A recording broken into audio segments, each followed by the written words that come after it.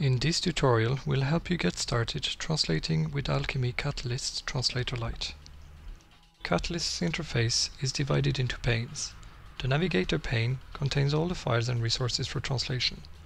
The Workspace area will display all the strings for translation. The Result pane will give us feedbacks on the different tasks that we perform. And the Translator toolbar is where we will enter translations.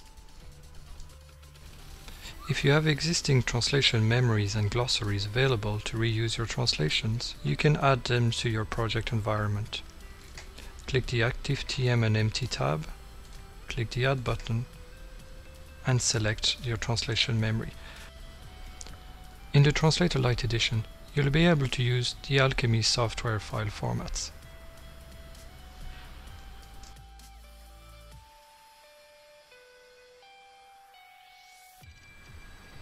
My project is now added. I can similarly do the same for the glossary. Click on the Term Sources tab, click the Add button, and navigate to your glossary file, which can be TXT, TBX or TMX.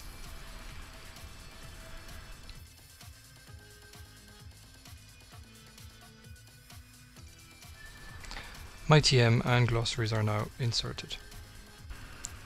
Once attached, the TM matches will be displayed in the Reference tab and the glossary matches will be displayed in the Terms tab.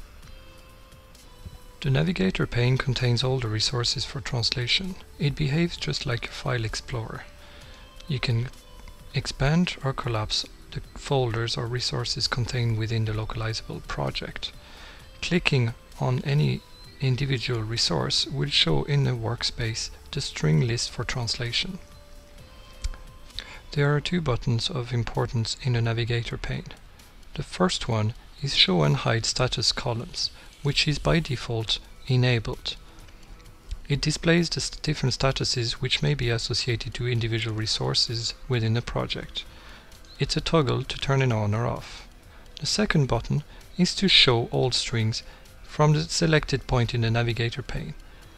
So if I click on the top of the project and click on Show All Strings, Catalyst will render a string list for all resources contained within the project. This is every single file under the folder with the name of the project. If I do the same clicking on a subfolder and click Show All Strings, I will only show the strings contained in the resources or files contained within the online help folder in this instance. It is important also to, to note that when you click on an AND resource or and file within the folder structure, you do not need to click Show All Strings. Catalyst will automatically render the string list for that particular resource or file.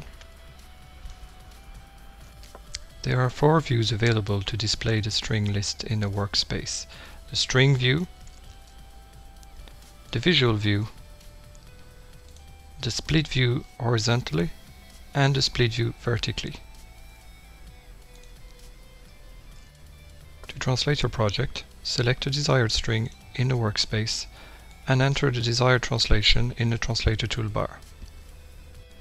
Any available translation match will be displayed in the reference tab and its associated score displayed on the right hand side.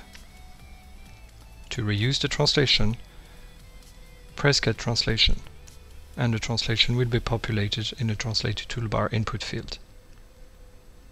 Selecting the second file in this folder in the navigation pane redraws the string list for translation in a workspace.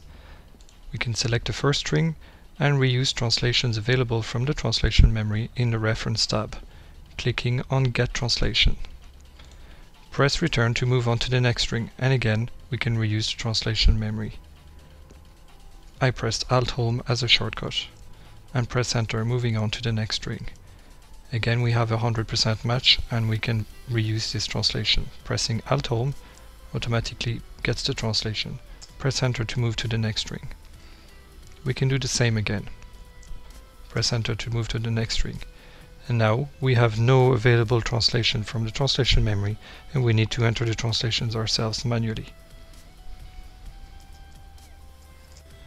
Depending on the origin of a translation, the status may be different translating manually a string will give a for review icon. while reusing a translation from a translation memory, such as this 100% match, will show a leveraged icon. Finally, reusing a translation which is not a 100% match will show a fuzzy match icon. The strings contained within the project for translation may also contain some special information. For example, a memo, which can be reviewed by hovering over the memo icon in the string list or clicking on the Properties tab in the bottom right corner. A string may also be locked, which means it simply cannot be translated and can be ignored. Finally, single or multiple words can be selected and marked as keywords, meaning that they should not be translated and should be left alone. Here is an example of this word underlined in blue. Similar to keywords, term matches can be identified with a red overline, and a matching term can be reviewed in the Terms tab on the right hand side. To bring in the term, select the associated word and click on the Get current term button. And then you can complete the translation.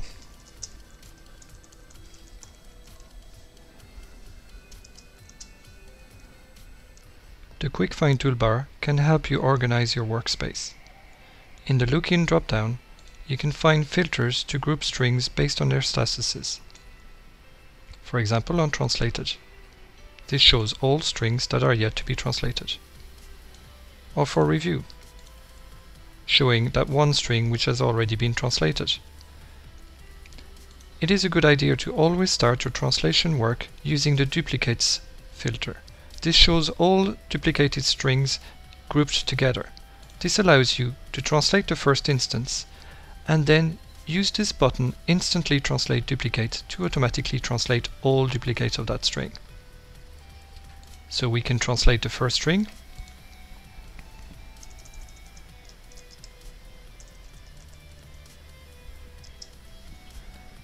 not forgetting to use our term, and then instantly translate any duplicates. Using the Look For feature, you may refine your string list to only contain strings for the text that you enter, for example, dialogue. Doing a quick find will show only the strings that contain the words dialogue. The strings only displaying the word dialogue are based on the translated column. To change the way we search or quick find our strings, click on the quick find options drop-down. You may also refine your search by entering more text, such as the word bar, and clicking on Refine Quick Find. Now we only have two strings left. You can clear your quick find cl clicking on the Clear Quick Find button. To search for a word or string in your Catalyst project, use the Advanced Find and Replace feature. The Advanced Find and Replace will search for your text in the position selected in the navigation pane. This search will be recursive. Alternatively, you can select the current project to look for your text in the entire TTK. Enter the text you wish to search for and select the options of your search. Here we'll look for the word French word bar in the translated field only. The results will be displayed in the Advanced Find and Replace column on the right hand side and clicking on each result will jump directly to that string in your project. At any stage during your translation work, you may check on the statistics of your project. Hover over the Statistic tab to bring the tab into view and click the refresh button to recalculate a current word count for the project.